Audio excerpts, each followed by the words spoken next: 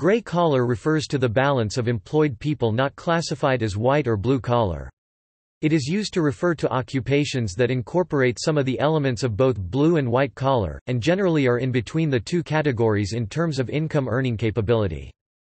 Examples of gray collar industries Police officers, firefighters, nurses, and emergency medical services personnel Skilled tradespeople and technicians Farmer or agribusiness Typists, stenographers, and paralegals Airline pilots and flight attendants Teachers and school administrators Clergy Salesperson Funeral director Gray collar workers often have licenses, associate degrees or diplomas from a trade or technical school in a particular field.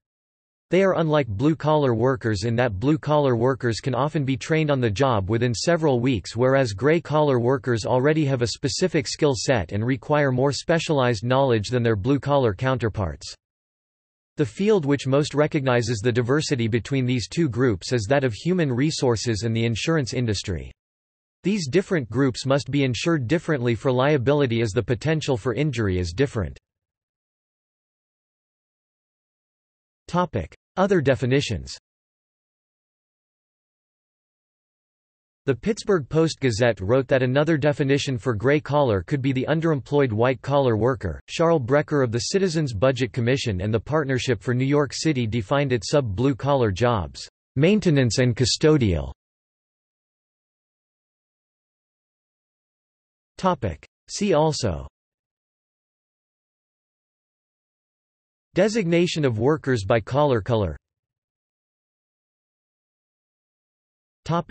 References. External links.